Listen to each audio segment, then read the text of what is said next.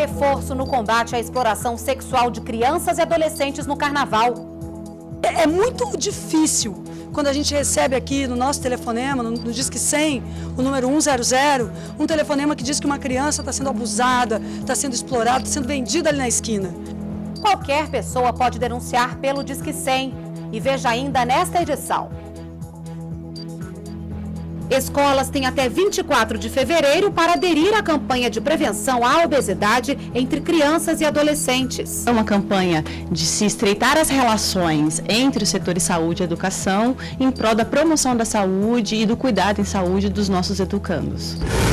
Curso da Embrapa dá dicas de como aproveitar qualquer cantinho para cultivar hortaliças. Imagina que mágico você tirar o seu alimento do seu quintal, né? Isso me fascina, eu não vejo a hora disso acontecer. O NBR Notícias começa agora.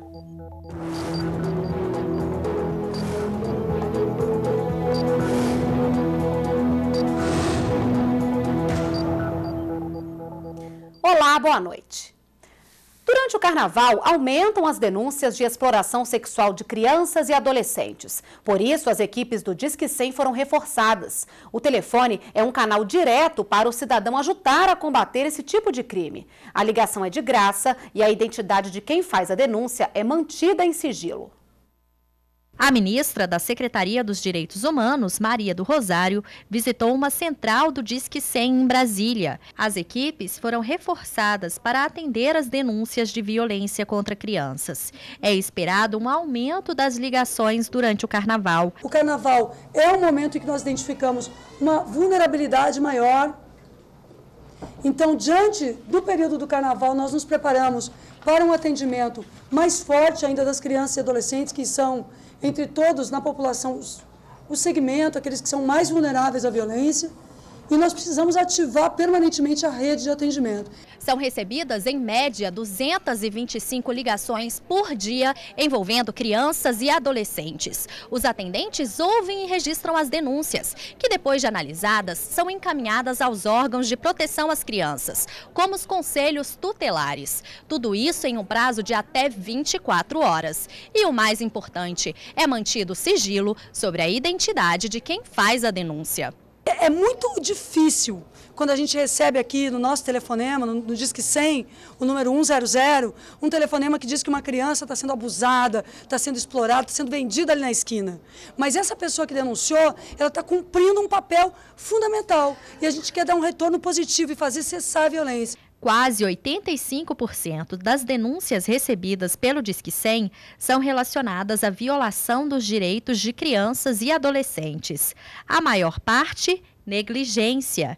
Em seguida, violência psicológica, agressões físicas e violência sexual. A ligação para o Disque 100 é gratuita e pode ser feita de telefone fixo ou celular. Não apenas no período do carnaval, mas no ano inteiro, já que o Disque 100 funciona sete dias por semana, 24 horas por dia, todo ano.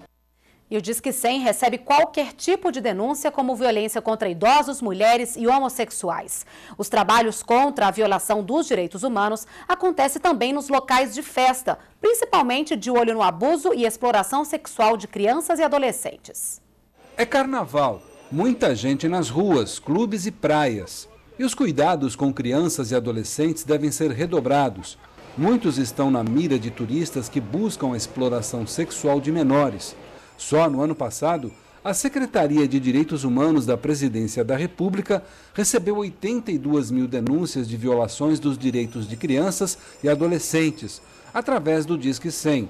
Salvador lidera o ranking das cidades brasileiras que mais recebem esse tipo de denúncia. Em seguida vem Rio de Janeiro, Fortaleza, São Paulo e Natal. O que existe na Bahia é uma maior consciência de que o cidadão comum tem e deve denunciar. Então, o maior número que a gente tem de denúncias significa que a sociedade está se mobilizando. Significa que a sociedade está entendendo que ela tem um compromisso com essa luta, com esse enfrentamento. E o vizinho denuncia, né? na rua denuncia, o ambulante denuncia. Então, é, é muito importante que isso cresça. E é muito importante que a gente crie os mecanismos para que isso não ocorra mais, que a, que a violência não ocorra mais. E na capital baiana foi lançada a campanha Liga da Proteção para proteger crianças e adolescentes da exploração sexual. A campanha já está sendo veiculada em todo o país e convoca a sociedade a denunciar assédio sexual e as violações de menores. De 2005 a 2010, o Disque 100 recebeu mais de 25 mil denúncias de todo o país. O maior número foi da região Nordeste, seguida do Sudeste, Sul, Centro-Oeste e Norte. Em Salvador, mais de 200 pessoas divididas em equipes de mobilização estão atuando em vários pontos estratégicos da cidade, como a Praia do Farol da Barra. É porque aqui o local é bastante crítico. Muitos vendedores ambulantes trazem os filhos que acabam ficando em situação de risco. A maioria dessas crianças que vocês podem ver aqui nas ruas da Barra, elas vêm de outros municípios. Elas, a grande maioria não mora aqui em Salvador. Então as famílias trazem por não ter mesmo uma rede com que deixar tipo creches, famílias, uma rede de apoio. Então eles vêm com as famílias, acampam aqui na Barra. As crianças ficam expostas, tomando banho, se alimentando, crianças recém-nascidas, todos, todas as idades, e inclusive adolescentes, pré-adolescentes correm do risco mesmo de serem exploradas sexualmente, de assédio. Os agentes abordam turistas, comerciantes, ambulantes e distribuem material de campanha. Dona Gilcélia tem consciência do quanto crianças e adolescentes ficam vulneráveis nos ambientes de carnaval. Ela cria uma neta e não leva a criança para a praia quando vai trabalhar. Por causa do assédio sexual, né, que tem muito, né, a violência hoje em dia. Tá demais com criança, então por isso eu nunca trouxe não. Crianças que são encontradas perdidas nas ruas são levadas para este abrigo, onde ficam até os pais serem encontrados. Aqui, elas recebem alimentação e todo o amparo. Um trabalho que depois se estende à família de cada menor. A maioria das crianças, elas são sim bem cuidadas, vêm para cá, mas usam esse recurso aqui como uma forma dos pais estarem trabalhando de maneira tranquila. A criança, na verdade, vem, né, é um viés que a gente utiliza para conseguir atender essa família nas suas, nas suas é, é, demandas e com a potencialidade que nós temos. Então, é uma rede de, de instituições, é uma rede de apoio social que faz com que essa família seja direcionada, canalizada as ações para que a gente possa estar, tá, assim, transformando a vida dessa família, porque com toda certeza sempre vai existir outras demandas além do abrigamento. A presidenta Dilma Rousseff passa o carnaval na Bahia. Hoje ela enviou mensagem de saudação ao povo baiano, agradecendo a hospitalidade do estado, que, segundo ela, faz um dos mais belos e alegres carnavais do mundo. E nesta época, as ocorrências de perda de documentos e objetos pessoais aumentam. E os Correios oferecem um serviço de achados e perdidos.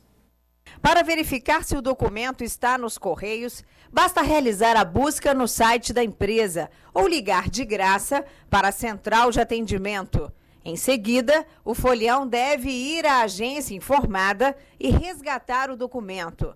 Para quem estiver fora do domicílio, em outra cidade, pode optar pelo recebimento numa agência mais próxima da residência ou do local de trabalho. Vale lembrar que os documentos ficam à disposição para serem retirados pelo período máximo de 60 dias. Após esse prazo, os documentos são encaminhados ao órgão responsável pela emissão. A procura por documentos perdidos ou roubados é grande, mas somente 5% deles são resgatados. Hoje, mais de 16 mil documentos estão aguardando a retirada nas agências centrais de todo o país. E os bancos não funcionam na segunda e terça-feira de carnaval. Na quarta-feira de cinzas, abrem ao meio-dia. As contas e os carnês que vencerem nessas datas podem ser pagos na quarta-feira sem multa. E nesse período é preciso também tomar cuidado com o que come fora de casa. Alimentos contaminados ou bebida alcoólica em excesso podem acabar com a festa do folião. O alerta é da Anvisa. Fantasias, cores e muita alegria é carnaval no Brasil. Em Salvador, no Recife em Brasília, não importa o lugar. O que vale é dar asas à imaginação. O carnaval é realmente a maior festa popular do Brasil e não tem jeito, o brasileiro cai mesmo na folia. Mas para os furiões não terem nenhum problema de saúde, algumas dicas são importantes. A hidratação é fundamental no carnaval. Então a hidratação ela deve acontecer tanto antes de, de, sair de casa, como durante o carnaval, durante da ingestão ou não de bebida alcoólica, como após também. Então, é, não só passar filtro solar, porque a gente tem muita desidratação através da, da, pele. Então, tomar água, tomar água de coco também, muito suco de fruta. Tom Vital vive da arte e no carnaval desfila personagens pela rua. Mas sabe que para manter a cadência e não perder o ritmo, tem que ter cuidados. Principalmente agora que está fazendo muito calor, né? A gente tem que se hidratar realmente. E as pessoas que estão é, se movimentando, suando muito, perdendo muito, líquido, o importante é beber bastante água e cuidar da, da sua saúde, né? Beber muita água e comer alimentos leves no carnaval são recomendações da Anvisa. A Agência Nacional de Vigilância Sanitária também tem atenção especial com os alimentos que são consumidos na rua. A higiene é fundamental.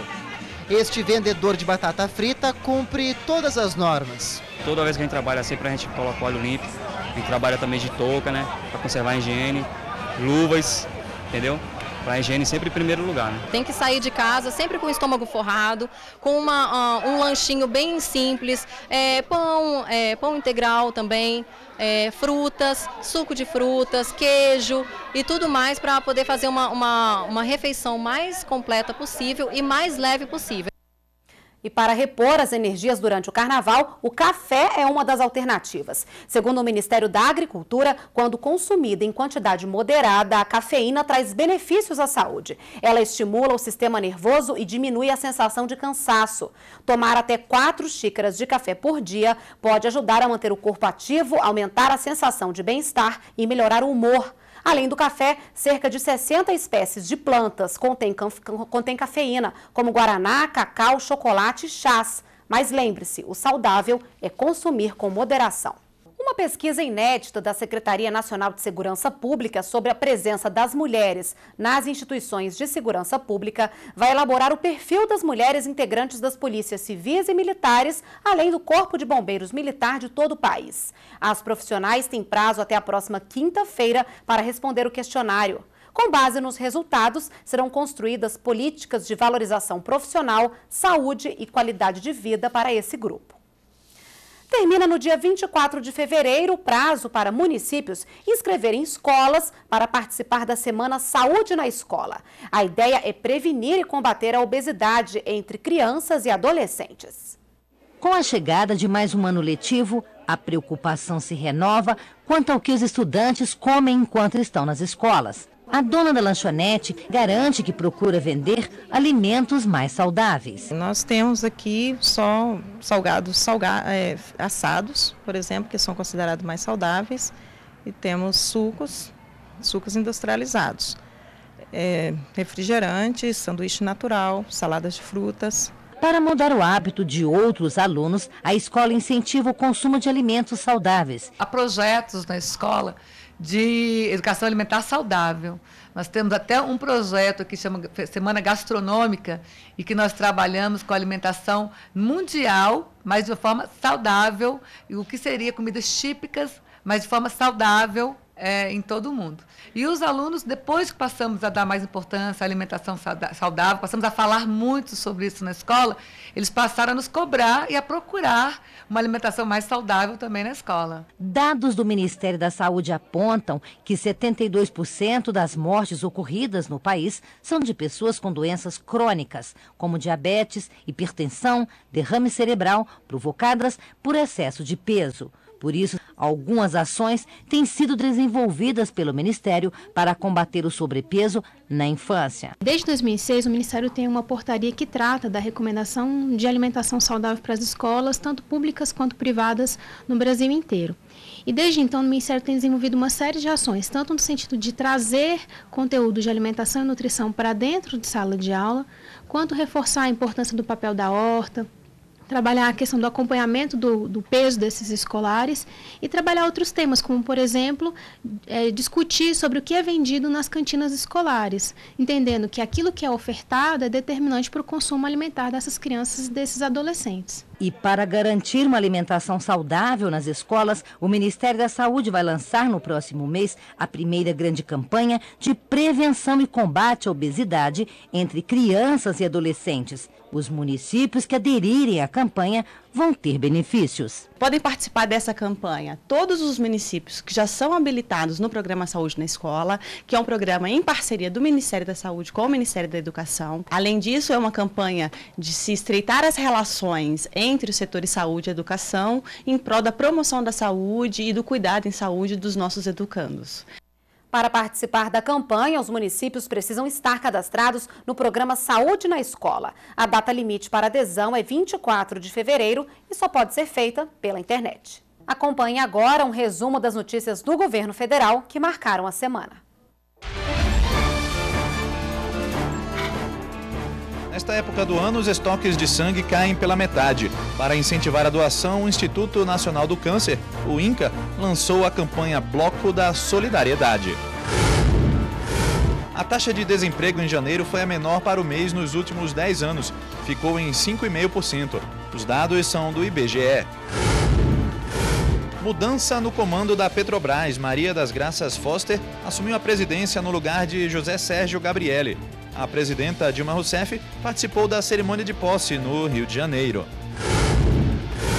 A presidenta Dilma Rousseff se reuniu com o vice-primeiro-ministro da China aqui em Brasília. A comitiva chinesa se encontrou também com o vice-presidente Michel Temer na segunda reunião da Comissão Sino-Brasileira de Alto Nível. Cooperação energética, educação, ciência, tecnologia e inovação foram alguns dos assuntos tratados.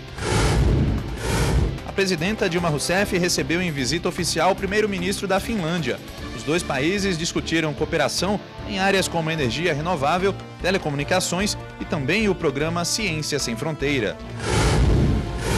Os investimentos federais vão aumentar este ano. O anúncio foi feito pelos ministros da Fazenda, Guido Mantega, e do Planejamento, Miriam Belchior.